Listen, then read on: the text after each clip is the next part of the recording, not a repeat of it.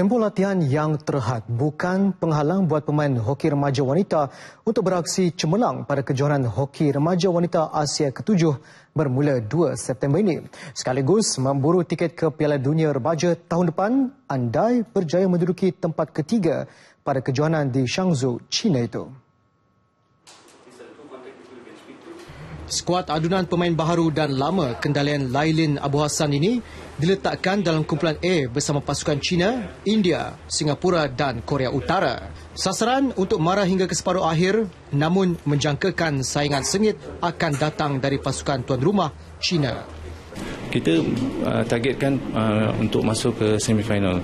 Ini bermakna kita um, berada di dalam kumpulan uh, A bersama dengan China dengan uh, China dengan India. So uh, kita perlu uh, mencari mata uh, uh, penting untuk uh, dua perlawanan ini. Uh, kemudian kita tidak lupa juga dengan uh, dua pasukan iaitu Singapura dengan uh, North Korea uh, merupakan uh, salah satu pasukan yang perlu diambil uh, pandang berat juga. The Mighty Princess dijadualkan bertemu Singapura pada 5 September dalam saingan peringkat kumpulan sebelum berdepan tuan rumah China, Korea Selatan dan India selang dua hari setiap perlawanan.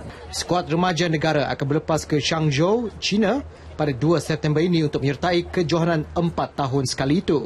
Andai berjaya menduduki tempat ketiga, skuad negara berpeluang untuk beraksi dalam kejohanan Piala Dunia Remaja di Santiago di Chile tahun depan.